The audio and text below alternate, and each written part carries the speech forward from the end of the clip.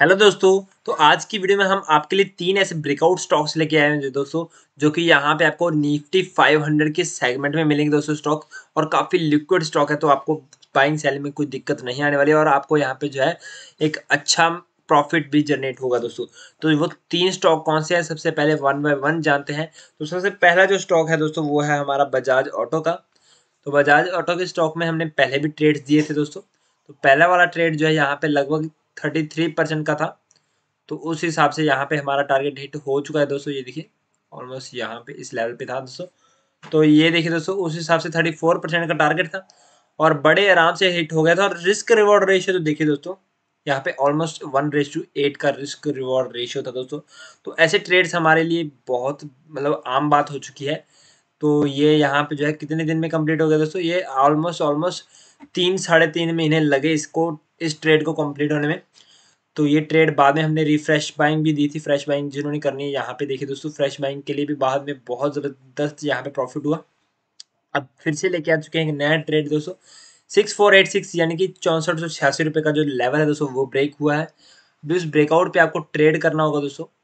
और उस ब्रेकआउट पे ट्रेड करने के बाद आपको एस एल कहाँ पे रखना है? स्टॉप लॉस तो वो देखिएगा दोस्तों ऑलमोस्ट आपको वन आवर के टाइम फ्रेम पे exact pin point stop loss बताऊँगा दोस्तों, ताकि आपका लॉस भी ना हो और यहाँ पे आपको ज़्यादा जो है मतलब फियर ऑफ़ लॉस भी ना फेस करना पड़े।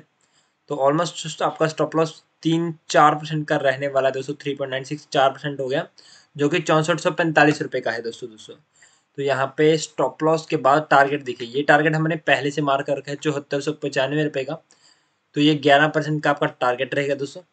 नेक्स्ट टारगेट दोस्तों कितना रहेगा आपका? यहाँ पे ऑलमोस्ट उन्नीस बीस परसेंट के आसपास का रहेगा, जो कि आठ हज़ार रुपये का रहेगा दोस्तों। तो ये जो टारगेट है दोस्तों, ये ऑलमोस्ट सी मतलब नॉर्मल से टारगेट है दोस्तों। कुछ टाइम भी लग सकता है। अभी इसमें आपको स्विंग करना है पोजिशनल करना है, वो आप पे डिपेंड करता है। अगर आप स्विंग करने जा रहे हैं तो सात हज़ार इसका टारगेट ले लेना। सात हज़ार पे कुछ काउंट एग्जिट कर सकते हो। कुछ पोजिशनल रख लेना दोस्तों। तो पोजिशन में आपको ट्रेड करना होगा तो यहाँ पे थोड़ा लंबा टाइम मतलब एक डेढ़ महीना भी लग सकता है। दो तीन महीने ज़्यादा से ज़्यादा इतना टाइम लगेगा दोस्तों।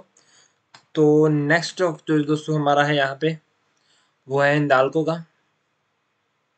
तो एक्चुअली ये तो दूसरा खुल गया हिंदालको इंडस्ट्रीज़ सॉरी तो ये किसी और कंट्री खुल गया। इसमें क्या दोस्तों, यहाँ पे एक और ब्रेकआउट हुआ है दोस्तों, पर ब्रेकआउट के पहले ये देखिए दोस्तों, हमने जो पैटर्न बताया था, उसी पैटर्न पे यहाँ पे स्टॉक ने ट्रेड किया दोस्तों। ये देखिए, सत्ताईस परसेंट का टारगेट दिया था हमने। ये एक चैनल बना के दिया था आपको कि यहाँ पे आपको ट्रेड इस ब्रेकआउट पे दिया था आपको मल्टी कंफर्मेशन के साथ में। उसके बाद से देखिए दोस्तों, यहाँ पे ऑलमोस्ट कितने परसेंट के, सत्ताईस परसेंट के ट्रेड टारगेट दिए हैं दोस्तों। तो यहाँ पे हमने एक स्विंग बताया था कि चार सौ चौरानवे रुपये पे ये रुकेगा।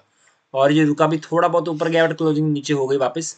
तो वापस हमने बताया था कि एक नीचे फिर रेजिस्टेंस फेस करने के बाद एक नीचे आएगी करेक्शन और फिर यहाँ पे रेजिस्टेंस को ब्रेक करेगा। ऐसे सपोर्ट वर्क करेगा सपोर्ट भी वर्क करा, और फिर यहाँ पे देखिए दोस्तों प्राइस बिल्कुल रॉकेट बन गया दोस्तों।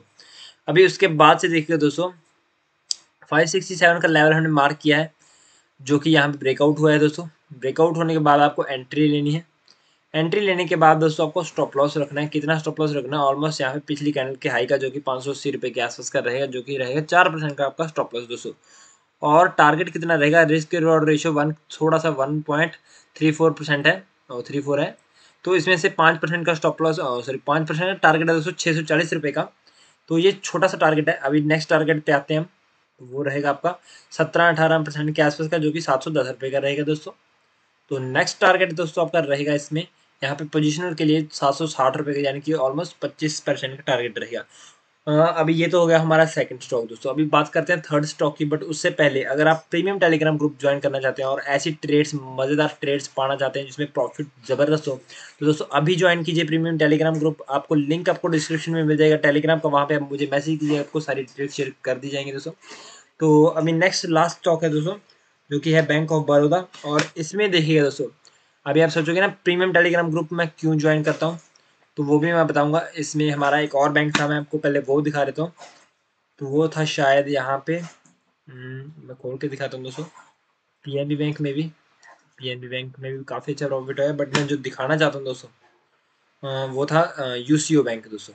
ये देखिए अभी यूसीओ बैंक में हमने 101 परसेंट का टारगेट बताया था दोस्तों। अभी वो कैसे? ये देखिए दोस्तों हमने बताया था कि ये एक रिस्की ट्रेड है।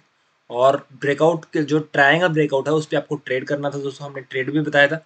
ये ट्रेड बताया था आपको लगभग यहाँ पे किस डेट पे? 16 अगस्त के आसपास बताया था, दोस्तों।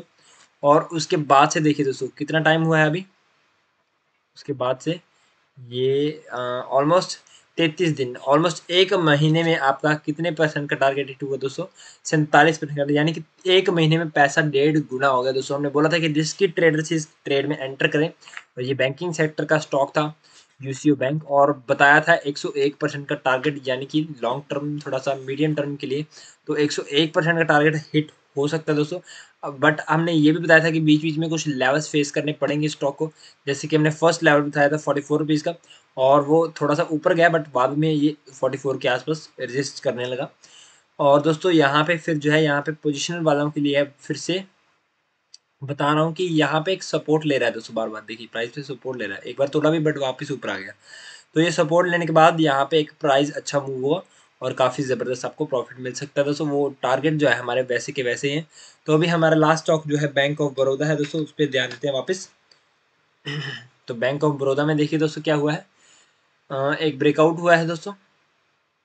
डेली टाइम फ्रेम पे हम तो इसकी जो लाइन्स है ना ट्रेंड लाइन्स वो शायद लोड नहीं हो पा रही या फिर इसमें दोबारा बनानी पड़ेगी मेरे ख्याल से। तो मैं दोबारा बना लेता हूँ दोस्तों। तो ये देखिए दोस्तों, यहाँ पे।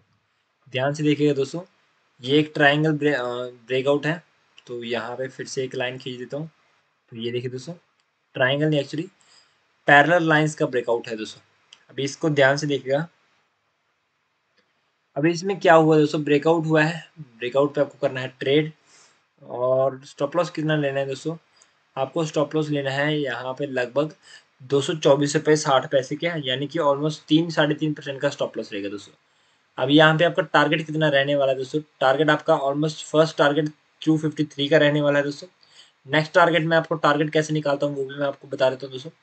जैसे कि एक यहाँ पे रेंज फाइंड आउट कर ली, सत्रह अठारह परसेंट की है। तो सत्रह अठारह परसेंट यहाँ पे ऊपर ले गया मैं। तो ये लेवल कितना निकल के आया दोस्तों? ये लेवल निकल के आया टू सिक्सटी एट का। तो ये हमारा टारगेट रहेगा दोस्तों टू सिक्सटी एट और ये टारगेट मैं आपको यहाँ पे बता रहा हूँ। ऑलमोस्ट यहाँ पे पंद्रह परसेंट का टारगेट रहेगा दोस्तों। तो ये तो हो गया थोड़ा सा स्विंग के लिए। अभी बात करते हैं पोजिशनल के लिए कितना टारगेट रहेगा तो वही थोड़ा लंबा स्विंग ले लो दोस्तों, जो चौंतीस परसेंट का या फिर यहाँ तक ले सकते हो, जो कि पच्चीस है तो पच्चीस ऊपर भी खींच लो। और ये बन गया हमारा ऑलमोस्ट टू एटी फाइव का। तो ये टू एटी फाइव का आपका नेक्स्ट टारगेट रहेगा दोस्तों। Two fifty eight fifty eighty five तक आप होल्ड करके रख सकते हो। ऑलमोस्ट बाईस तेईस परसेंट के टारगेट्स मिल जाएँगे दोस्तों। बाकी वीडियो कैसे लगी कमेंट्स बताना और प्रीमियर टेलीग्राम ग्रुप को ज़रूर से ज्वाइन कर लेना दोस्तों।